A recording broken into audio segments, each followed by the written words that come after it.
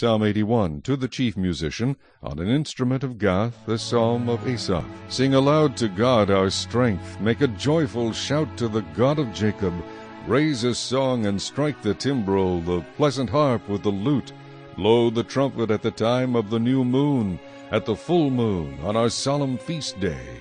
For this is a statute for Israel, a law of the God of Jacob. This he established in Joseph as a testimony when he went throughout the land of Egypt, where I heard a language I did not understand.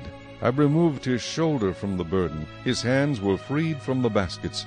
You called in trouble, and I delivered you. I answered you in the secret place of thunder. I tested you at the waters of Meribah, Selah. Hear, O my people, and I will admonish you. O Israel, if you will listen to me, there shall be no foreign God among you, nor shall you worship any foreign God. I am the Lord your God, who brought you out of the land of Egypt. Open your mouth wide, and I will fill it. But my people would not heed my voice, and Israel would have none of me. So I gave them over to their own stubborn heart, to walk in their own counsels. Oh, that my people would listen to me, that Israel would walk in my ways.